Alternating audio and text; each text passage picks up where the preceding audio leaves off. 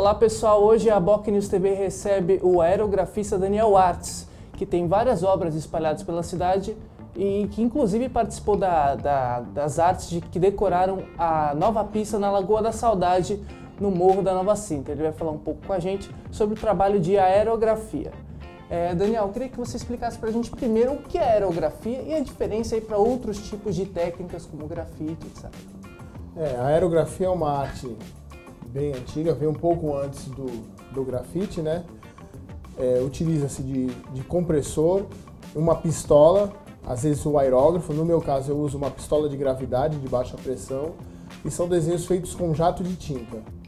Muito parecido e às vezes um pouco confundido com o grafite, que é, compõe a arte urbana, é um, um dos elementos da cultura do hip hop. Só que o grafite é feito é, muitas vezes com pincel, rolinho, mas é, a maioria das vezes e sempre com acabamento com a lata de spray. E a principal diferença então está na técnica. O, Isso. E o resultado, ele tem alguma diferença marcante assim? Ah, dependendo do artista, é, a gente pode se confundir bastante, né?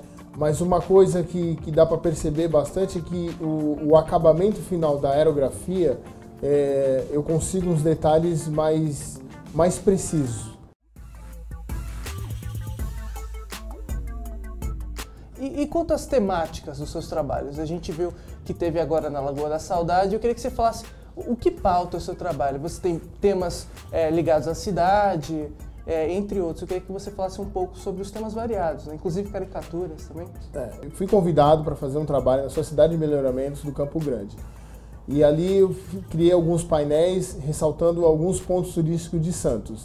Né? Então eu coloquei o pier, né? o quebra-mar com, com o monumento, coloquei o bonde. Depois disso apareceu um projeto da prefeitura para decorar o, o, uma parede que eles levantaram no campo de futebol no Complexo Marina.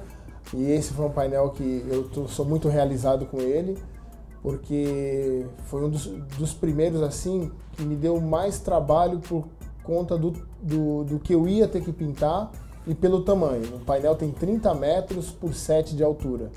Então ali eu contei, no primeiro plano eu conto como começou a cidade, né? Colocando o cais em evidência, o monumento que tem do, do estivador, uhum. depois a Bolsa do Café, a prefeitura, e no segundo plano vem os pontos turísticos, né? Eu mostrei a praia, o jardim, é, mostra o orquidário, a Praça da Independência, onde todo mundo se reúne para manifestações, para comemoração de títulos de seus times, né?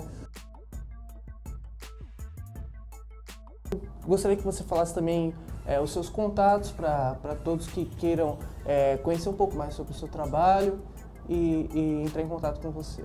Bom, meu WhatsApp é 97407 3576. Tenho também um Oi é, 9118 7129 e aí embaixo vai aparecer o Facebook e o meu site.